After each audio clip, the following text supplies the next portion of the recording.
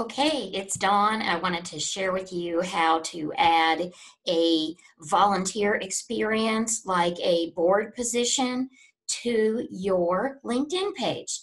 So you'll want to jump onto your LinkedIn page and go to view your profile. Now I'm already there and you can see I've got all these different sections about articles, uh, experience, uh, education, all of that, and I'm getting all the way down to volunteer experience.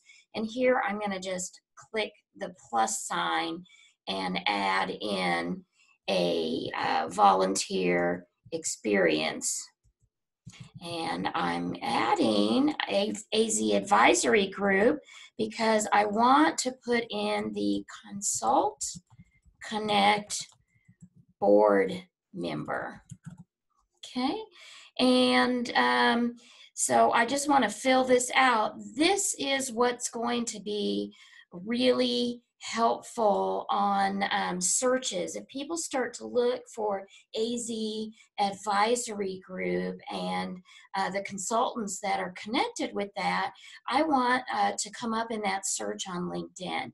So I'm just adding that and I'm just adding it as uh, uh this year brand new just getting kicked off. And then I would add a short description in here. Now I've left another page up. I'm going to save this here in a minute.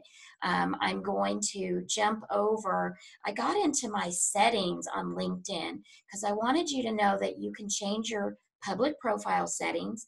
And if you go down, down, down, so I'm getting into that uh, profile settings.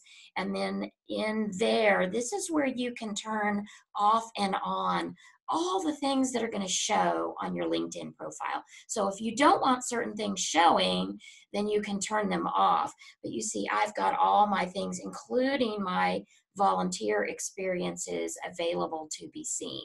So I'm going to finish that description and get this posted. Otherwise, you're good to go.